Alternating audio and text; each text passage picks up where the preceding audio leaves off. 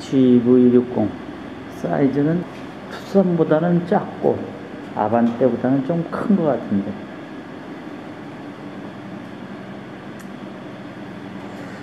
아 그래도 마음에 안 들어. 아직 전기차는 시기상조 같아. 좀 기다리자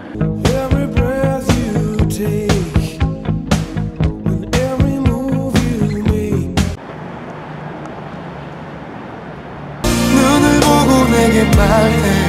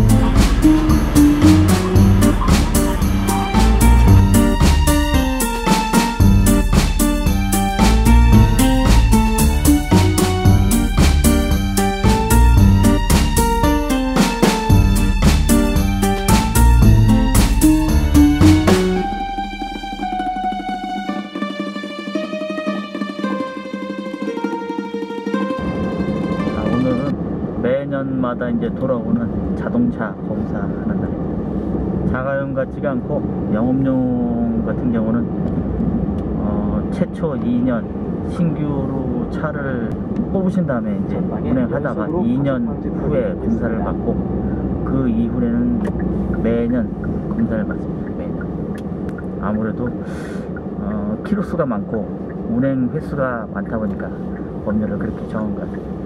늘상 가던 곳이 아니고 어, 개인 택시 조합 쪽에서 각 지역마다 맡아놓는 그런 뭐라 그럴까? 사고 처리 담당 공업사죠 공업사. 공업사. 그 공업사를 한번 가보러 갑니다.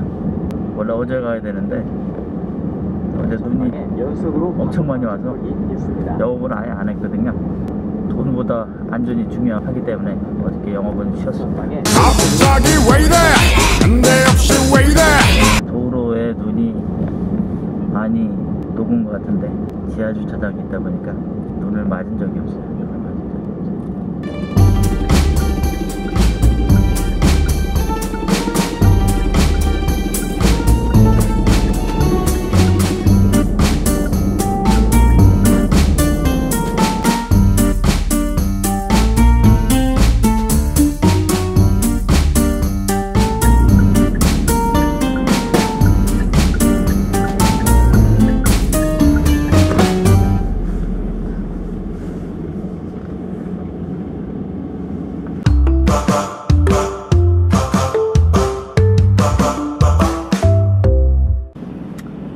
자동차 검사를 완료를 했고요. 어, 제 차는 2018년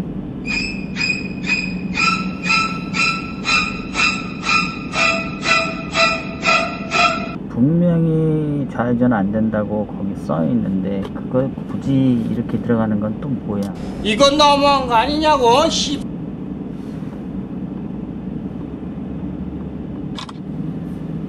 2018년 두 번째 구매해서 별 탈 없이 지금까지 타고 있는 것 같습니다. 싸늘하다. 가슴에 비수가 날아와 꽂힌다. 하지만 걱정하지 마라. 메모리 카드가 분리되었습니다. 시스템을 다시 시작합니다. 도발하지 마라. 도발하지 마라. 돈에 얽매여서 무분별하게 손님을 태우려고 도발하지 마시고 또 특히 손님 태운 상태에서 레이싱하지 마십시오. 레이싱. 가끔 몇몇 차들이 상당히 난폭하게 운전하는 거 보고 좀 문제가 있다.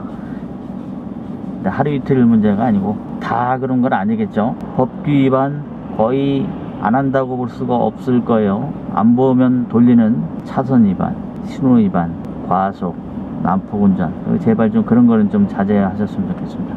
자동차 검사를 4년째 맡았는데 차 출고하고서 4년이 넘다 보니까 이것저것 실증이 나기 시작을 합니다. 그래서 조금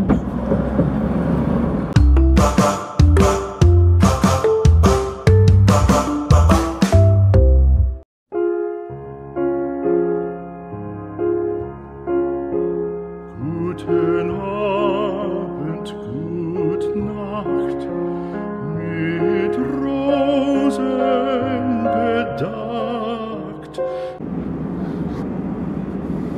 을지로에 또 왔습니다. 핀 목동이 나는 서 있네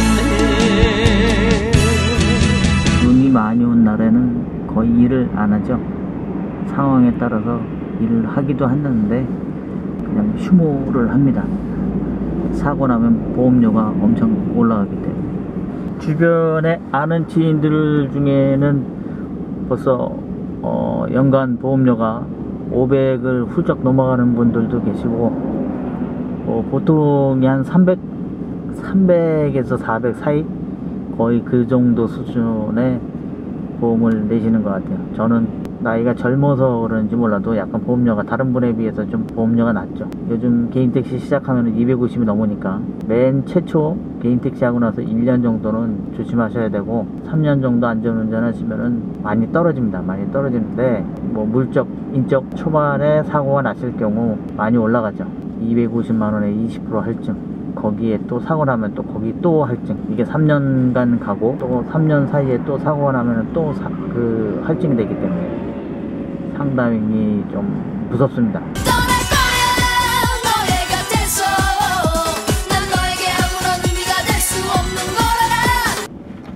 마카롱 예약 받아놓고 기다리고 있는데 최근 또 그냥 택시들 사고 영상들 보면은 참 가관입니다 가관 1차로 다니다가 손님 있다고 3차로로 그냥 꽂고 택시들끼리 경쟁 도발. 그러다 사고 나면은 보험료만 더블로 올라갑니다 더블로. 얼마나 힘들겠어. 벌어가지고 보험료로 다 나가면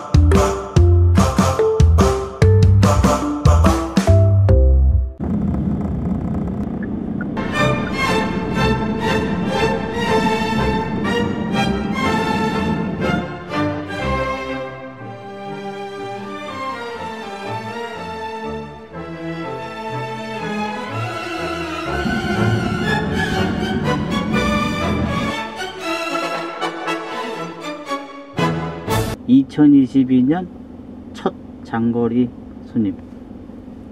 감사합니다.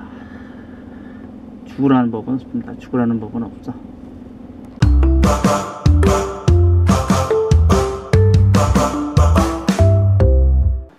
4년 정도 지나니까 좀 지루하죠 지루해.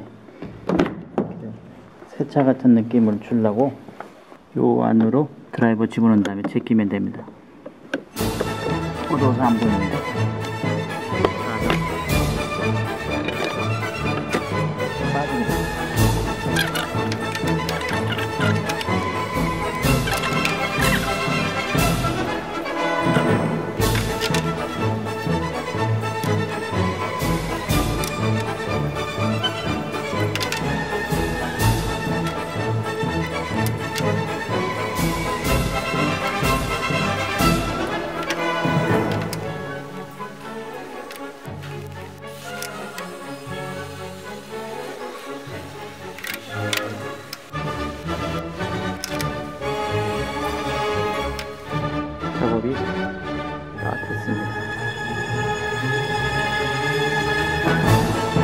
낄 때는 이렇게 이렇게 끼고 안에